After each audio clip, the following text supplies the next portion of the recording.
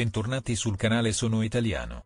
Oggi con le ultime notizie come A quanto pare la soubrette argentina non ha gradito le ultime voci sulla sua sfera privata e professionale.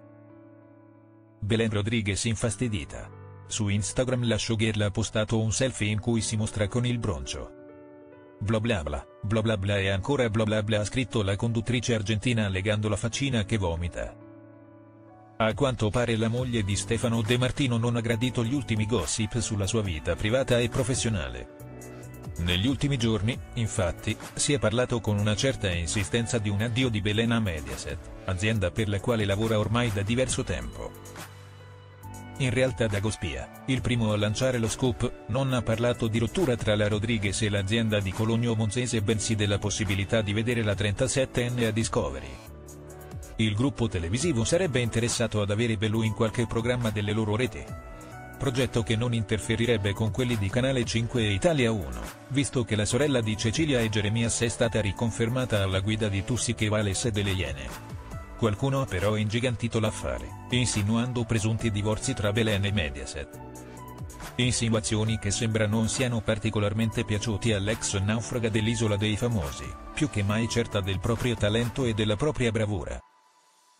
In questo periodo, poi, si è parlato parecchio di Antonino Spinalbese, fidanzato di Belen fino allo scorso anno. L'ex hairstylist ha rilasciato una lunga intervista al settimanale Chi che ha fatto parecchio discutere.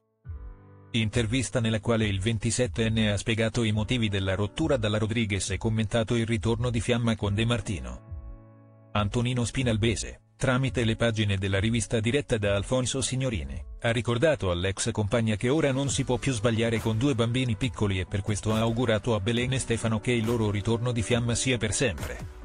Ma non è finita qui, Antonino è in lizza per partecipare alla nuova edizione del Grande Fratello VIP.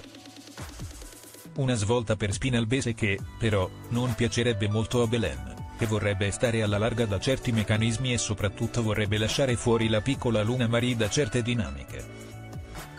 Come specificato anche dallo stesso Antonino, Belen e Spinalbese non hanno più alcun rapporto dopo l'addio dello scorso dicembre.